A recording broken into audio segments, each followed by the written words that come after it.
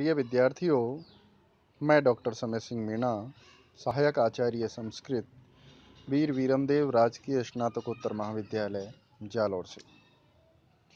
आज के वीडियो में हम अभिज्ञान शाकुंतलम नाटक के जो छठवा अंक है, उसका हम प्रारंभ करेंगे। इससे पहले वाले वीडियो तक हमने पाँचवें अंक तक अध्ययन किया था। जिसमें बताया गया कि राजा दुष्यंत शकुंतला का पर, परित्याग कर देते हैं। वे उनको अपनी पत्नी के रूप में स्वीकार नहीं करते हैं और शकुंतला को एक नारी स्वरूप की ज्योति आकर के उठा कर के अंतर ध्यान हो जाती है जिसकी सूचना राजपुरोहित राजा दुष्यंत को देते हैं। उसके बाद राजा विश्राम कक्ष में चले जाते हैं। यहीं पर हमारा पांचवा अंक समाप्त होता है। छठवें अंक में हम देखते हैं कि मंच पर राजा का साला, जो कोतवाल है, नगर के रक्षा अधिकारी का दायित्व है उसके पास, और साथ में एक व्यक्ति को बांधे हुए दो सिपाही मंच पर हमें दिखाई देते हैं। दोनों सिपाही उसको पीटते हैं तरह तरह के अशिष्ट और गाली गलौच के साथ उसके साथ व्यवहार करते हैं। और वो कहते हैं कि राजा के नाम की जिस पर गुदा हुआ है, ऐसी अंगूठी तेरे पास कहाँ से आई? तब वह व्यक्ति कहता है कि मैं मछली पकड़ करके और जा उनको बाज़ार में बेच करके अपनी आजीविका चलाता हूँ। तब राजा का जो साला है, वो कहते हैं कि अच्छा बहुत अच्छी आजीविका है, आपकी कितनी पवित्र आजीविका है। इस प्रकार का व्यंग वह कसते हैं। तब व्यक्ति राजा के साले जो नगर रक्षा अधिकारी कोतवाल है उससे कहते हैं। इसी का प्रथम पद्य में वर्णन है। क्या कहते हैं? कि सहजम किल यद विनंदितम, न खलु तत्कर्म विवर्जनीयम। पशु मारन कर्म दारुणो अनुकंपा मृदुरे विश्रोत्रिय। क्या कहते हैं? कि सहजम यत कर्म। जो कर्म सहज है, अर्थात जो कुल परंपरा से चला आ रहा है विनिंदितम वह लोक गर्हित होते हुए भी तत्कर्म, वह काम को न विवर्जनीयम, नहीं छोड़ना चाहिए। अर्थात कुल परंपरा से जो चाहे निंदित कार्य है, फिर भी उसको करना चाहिए, उसको नहीं छोड़ना चाहिए। क्यों? क्योंकि पशु मारण कर्म दारुणो, पशु को मारने के कर्म रूपी कठोर विभत्स कार्य करने पर भी श्रोत्रिय जो वैदिक यज्ञों को संपादन करने वाले ब्राह्मण हैं, वेदज्ञ हैं, वे भी अनुकंपा मृदुरेव अनुकंपा मृदु एव। दया भाव से कोमल ही होते हैं। अनुकंपा यानी दया भाव से मृदु एव कोमल ही होते हैं। अर्थात कर्म करने से व्यक्ति बुरा नहीं हो जाता। ये जो मैं कर्म कर रहा हूँ, मछली पकड़ करके आजीविका चलाने का, ये मेरे कुल क्रम कुल क्रमागत और ख़ानदानी काम है जिसको करने से मैं लज्जित नहीं होता हूँ, अर्थात इसमें कोई शर्म की बात नहीं है। इस प्रकार वह व्यक्ति उनको कहता है। इसके बाद वह व्यक्ति अपनी पूरी घटना बताता है कि मैं मछली पकड़ने का काम जो मैं करता हूँ, ये हमारा कुल क्रमाद काम है एक दिन में सची तीर्थ में सरोवर में जब मछली पकड़ रहा था तो वहाँ पर मुझे एक मछली मिली जिसको मैं जब रोहू मछली थी जब मैं उसको टुकड़े कर रहा था, काट रहा था तो उसके पेट के अंदर से यह मुझे मिली है। और जिसको जब मैं बेचने के लिए बाज़ार में दिखा रहा था, इतने में आप लोगों ने मुझे पकड़ लिया। यही इस उंगली प्राप्ति का राज है। तो तब वे कहते हैं कि, तू झूठ बोल रहा है। ठीक है, हम इसको पहले राजा को दिखा के आते हैं, उसके बाद हम आपको दंडित करेंगे। ऐसा कहकर के राजा का साला राजा के पास चले जाते हैं और दोनों जो सिपाही हैं, वो उसको पकड़ करके मुख्य द्वार पर ही खड़े रहते हैं। काफ़ी देर बाद वह राजा का शाला लौट करके आता है और कहते हैं कि राजा ने इसको मछुआरे को छोड़ने का आदेश दिया है और इसको साथ ही पारितोषिक रूप में, उपहार स्वरूप में कुछ धन भी दिया है, क्योंकि इस अंगूठी को प्राप्त करके राजा को किसी प्रिय व्यक्ति की याद आ गई और उनकी आँखें सजल हो गई। राजा स्वभाव से गंभीर होते हुए भी भावुक हो गए। इसलिए इन, उन्होंने उपहार स्वरूप में इस उंगली के बराबर अर्थात इनकी कीमत के बराबर उन्होंने उपहार दिया है। तो वह व्यक्ति उनको कहता है कि ठीक है महाराज, लेकिन आधा आप रख लीजिए। तो वे सहर्ष उससे आधा धन खुद रख लेते हैं। इससे पता चलता है कि उस समय भी राजकीय लोग या प्रशासन में भ्रष्टाचार मौजूद था। इसके बाद का जो दृश्य है, वो सभी मंच से निकल जाते हैं और मंच पर दो दासियाँ हैं जो प्रमद वन में घूम रही होती हैं और उनको आम्र वृक्ष पर एक आम्र का बौर, जिसको संस्कृत में चूत मंजरी कहा जाता है, वह दिखाई देती है, जो सूचक है कि बसंत का मौसम आ गया है, बसंत मास आ गया है। और बसंत मास में, के प्रारंभ में, राजा द्वारा एक बसंत उत्सव का आयोजन किया जाता था। सभी के लिए आनंद में वह अवसर होता था, जिसमें सभी मौज मस्ती और खुशी व्यक्त करते थे।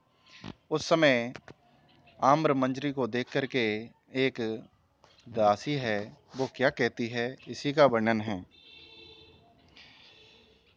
कि आताम्र हरित पांडुर जीवित सत्यम वसंत मासस्य, द्रष्टोऽसि च्यूतकोरक ऋतुमंगल त्वां प्रसादयामी। कि आ ताम्र हरित पांडुरा, आ ताम्र यानी अरुणाभ गेरुए रंग वाली, हरित कुछ हरी सी, कुछ पांडुरा, कुछ पीली सी। इस प्रकार ताम्र हरित और पीले वर्ण से युक्त और बसंत मासस्य सत्यम जीवितम, जो बसंत मास मास का जो प्राण स्वरूप है, ऐसे ऋतु मंगला, बसंत मौसम। की चूत को रखा, हे आम्र मंजरी। त्वाम मैं तुझको, तुम मेरे को दृष्ट असी देख ली गई हो। इसलिए मैं त्वाम तुमको प्रसाद यामी, प्रसन्न करती हूँ, प्रसन्न कर रही हूँ, अर्थात आपका आवाहन कर रही हूँ। यहाँ पर एक दासी है जो आम्र मंजरी को देख करके अपनी भावना व्यक्त कर रही है कि कुछ अरुणाभ यानी गेरुए रंग लिए हुए, कुछ हरे वर्ण की, कुछ पीले वर्ण की सी। बसंत मास के प्राणभूत स्वरूप, हे आम्र के बौर, तुम दिखाई दिए हो। हे ऋतु के मंगल स्वरूप, मैं तुमको प्रसन्न कर रही हूँ, मैं आपका आवाहन कर रही हूँ। इस प्रकार, इस पद्य में जो स्वाभाविक आम्र मंजरी को देख करके जो स्वाभाविक भावना व्यक्त हुई है, इसलिए यहाँ पर स्वभावोक्ति अलंकार है और आर्या नामक छंद है। तो इस प्रकार जो कहती हैं, उसके बाद एक दूसरी सखी उससे कहती है कि अच्छा आपको आम्र मंजरी दिखाई दी है। ठीक है, इसको हम कामदेव के लिए समर्पित करते हैं। और वे ऐसा कह करके उसको तोड़ती हैं। और कामदेव का आवाहन करती हुई उनको वे समर्पित करती हैं। समर्पित करते हुई जो वो भावना है, वह इस पद्य में व्यक्त हुई है कि तोमसी मया दत्ता कामाय धनुषे पथिक जन युवती लक्ष्य पंचाभ्यधिक शरो भव। शरो भव। च्यूतांकुर हे आम्र मंचरी मया यानी मेरे द्वारा, तुम यानी तुम। गृहित धनुषे, अर्थात ग्रहण कर रखा है जिसने धनुष हाथ में ऐसे काम, कामाए, कामदेव के लिए। दत्त असी दी जा रही हो, अर्थात कामदेव के लिए समर्पित की जा रही हो। मैं कामदेव के चरणों में आपको समर्पित कर रही हूँ। पथिक जन युवती लक्ष्य पथिक जन यानी पथिकों की युवती, तरुण युवतियों ही तुम्हारा लक्ष्य लक्ष्य हो। और पंचाभ्यधिका शरो भवा पंचाभ्यधिका यानी पाँचों बाणों में कामदेव के जो पाँच बाण हैं उनमें आप सर्वश्रेष्ठ बाण भव यानी होना। अर्थात, हे आम्र मंजरी मेरे द्वारा तू धनुषधारी कामदेव को समर्पित की जा रही है। पथिकों की तरुण स्त्रियाँ तुम्हारा लक्ष्य हों और तुम पाँचों बाणों में सर्वश्रेष्ठ बनो। यहाँ पर कामदेव के पाँचों बाणों का उल्लेख है, जिसके लिए कहा जाता है, कामदेव के पाँच बाण कौन कौन से हैं? कि अरविन्दमशोकं च चूतं च नवमालिका, नीलोत्पलं च पंचैते पंचवाणस्य सायकः। कामदेव के पाँच बाणों में अरविंद यानी कमल, अशोक अशोक पुष्प, चूतम यानी आम्रमंजरी नवम मालिका चमेली और नीलोत्पल, नीला कमल। ये पाँच कामदेव के बाण हमारे साहित्य में बताए गए हैं। इस, इस पद्य में आर्या नामक छंद है। ऐसा कह करके इस प्रकार मंत्रोच्चारण करती हुई भावना व्यक्त करती हुई वे आम्र मंजरी को फेंक देती हैं अर्थात कामदेव को समर्पित कर देती है। उनको इस प्रकार करता हुआ देख करके कंचकी आता है और उनको डांटता है। कि ये तुम क्या कर रहे हो? तुम्हें पता नहीं है कि महाराज ने ये सब बसंत उत्सव बंद कर रखा है और आम्र मंजरी तोड़ना तुमने क्यों प्रारंभ कर दिया? तब वे दोनों डरती हुई कहती हैं कि आर्य प्रसन्न हो, हमें पता नहीं था कि राजा ने ऐसा आदेश दे रखा है। तब कंचु की उनसे कहते हैं कि, इंसान तो दूर, स्वयं वृक्ष और उन पर बैठने वाले पक्षी भी बसंत उत्सव मना नहीं रहे हैं। राजा की आज्ञा का विरोध नहीं कर रहे हैं। इसी की भावना का व्यक्त करते हुए कंचुकी कहते हैं, क्या कहते हैं? कि चूता नाम चिर निर्गता कलिका बध्नाति न स्वम सन्नद्धं यदपि स्थितं कुर्वकं तत्कोरकावस्थया। कण्ठेषु स्खलितं गतेऽपि शिशरे पुंष्कोकिलानामृतम् शङ्के सहरति स्मरोऽपि चकितः। तूनार्धकृष्टं शरम। कि सुनिए। कि चूतानाम चिर निर्गतापि चिर निर्गतापि बहुत लंबे समय बाद निकले होने पर भी चूता नाम जो आम्र मंजरी है, वह उसकी जो कलिका है, वह स्वयं रजा न बदनाती। अर्थात पराग को धारण नहीं कर रही है, अर्थात वह पराग उत्पन्न नहीं कर रही है राजज्ञा के विरोध में। और यद जो अपि भी कुर्बकम जो कुर्बक का पुष्प है, वह यद्यपि सन्नद्धम खेलने के लिए तैयार है तदप तत् फिर भी वह कौरक अवस्थया स्थितम। वह कोरक अवस्था यानी कली की अवस्था में ही स्थित है, अर्थात वह भी नहीं खिल रहा है। और शिशिरे गतेपि शीत ऋतु के चले जाने पर भी, शिशिर ऋतु के चले जाने पर भी पुंश कोकिला नाम रुतम पुंश कोकिला नाम यानी जो कोयल हैं, कोयल पक्षी हैं, उनका जो रुतम यानी जो कुंजन है, वो कंठेसु उनके कंठों में ही स्खलितम स्खलित हो रहा है, अर्थात वे भी खुलकर कुंजन नहीं कर रही हैं।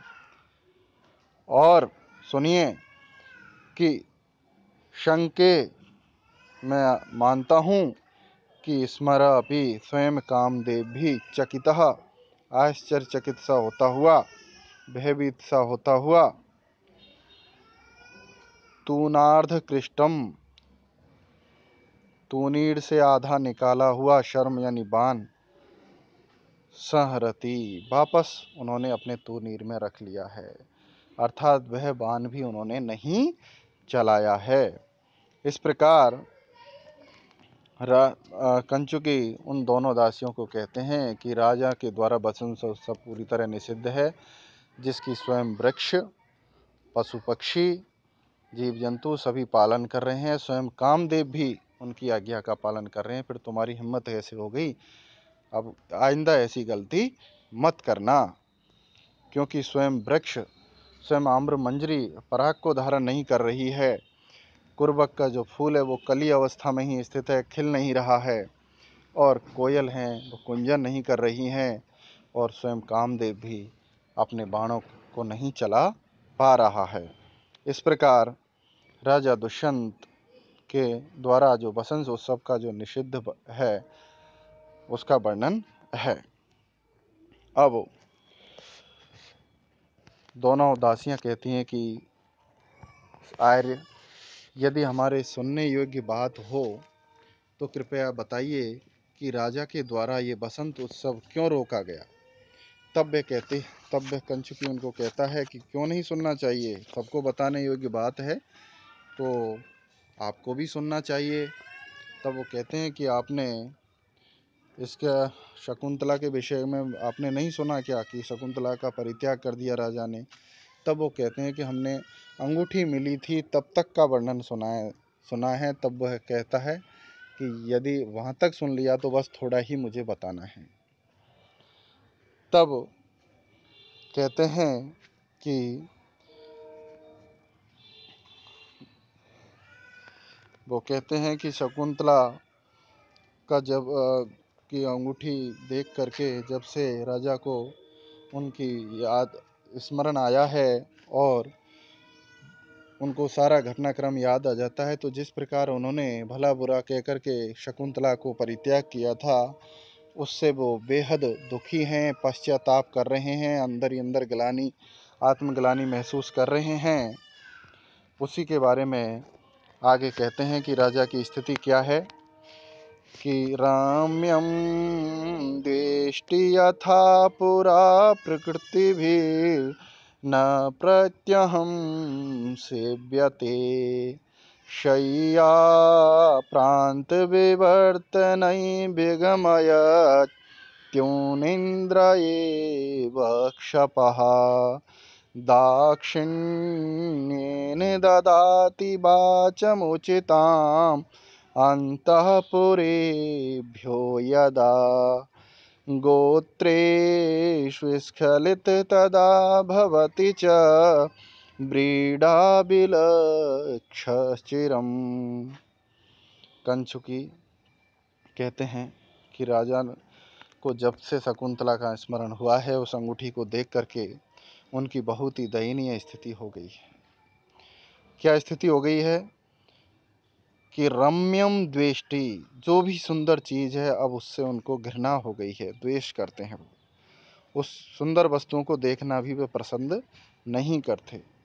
और यथा जिस प्रकार पुरा यानी पहले वे प्रकृति भी अपने मंत्री, अमात्यादियों के साथ पहले जैसे मिलते थे, वैसे अब प्रत्यहम प्रतिदिन न से व्यते नहीं मिलते हैं।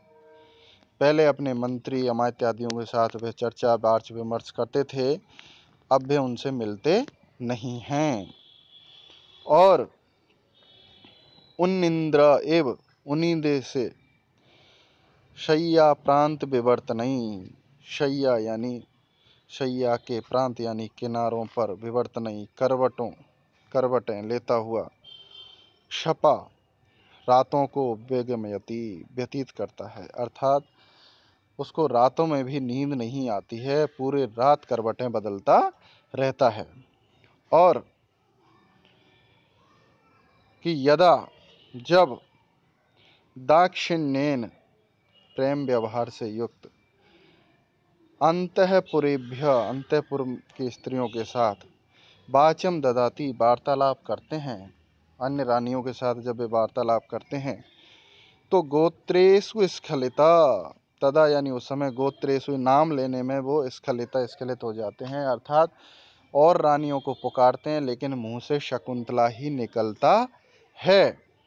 तो ऐसी स्थिति में वो जब उसको, उनको पता लगता है कि गलत नाम बोल दिया तो ऐसा सोच करके चिरम यानी बहुत समय तक ब्रीडा विलक्षण, विलक्षा सभवती, ब्रीडा यानी लज्जा के कारण, विलक्षा यानी अन्य मनस्क से वो भवती हो जाते हैं।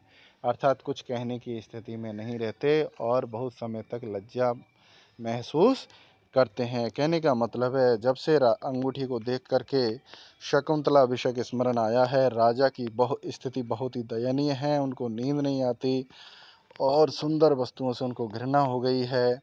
मंत्रियों से मिलना जुलना भी उन्होंने छोड़ दिया है। इस प्रकार के वर्तमान में राजा की स्थिति है। इस, इन दासियों के और कंचुकी के आपसी वार्तालाप को जो शकुंतला की माँ मेनका है, उसकी जो सखी है, दूसरी अप्सरा सानुमति, वह गुप्त रूप में वहाँ प्रमद वन में स्थित होकर के सुन रही है, क्योंकि मेनका ने उनको भेजा है कि आप राजा के बारे में जानकारी प्राप्त करके आना। तो वह गुप्त वेश में प्रमद वन में स्थित होकर के उनके वार्तालाप को सुन रही होती है। इस प्रकार यहाँ तक आज के वीडियो में हमने इतना अध्ययन किया। आगे के पद्यों के लिए मेरा अगला वीडियो देखें, जिसके लिए मेरे यूट्यूब चैनल संस्कृताध्ययनम को लाइक करें, सब्सक्राइब करें और कमेंट्स बॉक्स में अपने कमेंट्स अवश्य लिखें कि आपको ये वीडियो कैसा लगा। आज के लिए इतना ही, धन्यवाद।